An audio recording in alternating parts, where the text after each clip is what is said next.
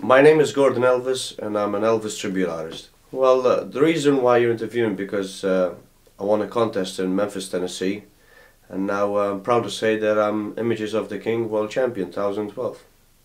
That means uh, one of the best Elvis impersonators or tribute artists uh, in the world.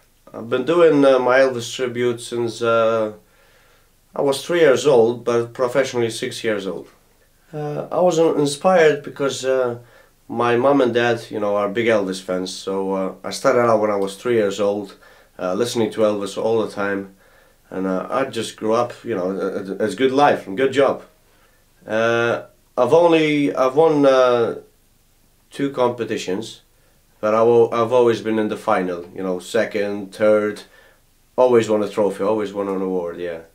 Uh, the best part about being an Elvis tribute is that you you'll be on stage and you're entertaining the people. You know, I always say that the the crowd keeps me going. You know, if there's no one in the audience, that that's it. It's finished. So for me, it's not just the performance; it's the audience. You know, that are giving me all their support.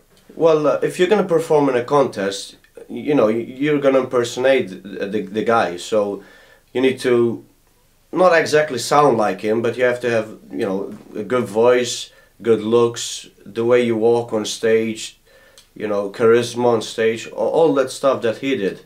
You know, you, can't just put a jumpsuit and just sing a song.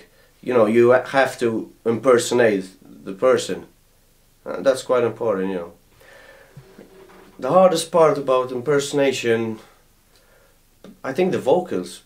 Because, I mean, even movements, but uh, I think it's important the vocals if you're close you know, you, you don't want to sound like uh, how I sing in normal as Gordon.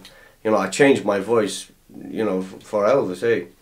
I think I've spent, uh, I think I've spent about, I don't know, 10,000, you know, just to be Elvis because you have, you have all the costumes, you know, like these costumes are about 1,000 pounds and uh, I have a belt cost 400 pounds and, you know, the, the PA, the, all the costumes you see behind me, they're all expensive, you know. It's not just that, you know, everything, rings, like this ring, you know, it's all money.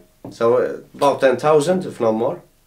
Uh, if I had a, like a, to meet Elvis, I think I will ask him to go uh, in a studio and just record some few songs, me and him.